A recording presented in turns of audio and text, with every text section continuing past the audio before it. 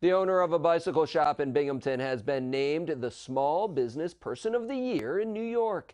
The U.S. Small Business Administration honored Anthony Folk, owner of Chenango Point Cycles, with the award today.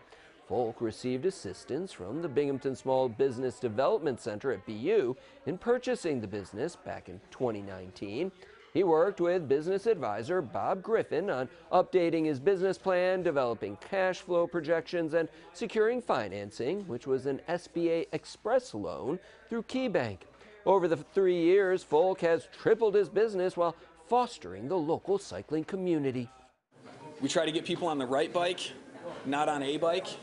And when we're working on somebody's bike and providing service to their bike, we try to do what's needed, what's safe, but what they can afford and what they want to do on their bike.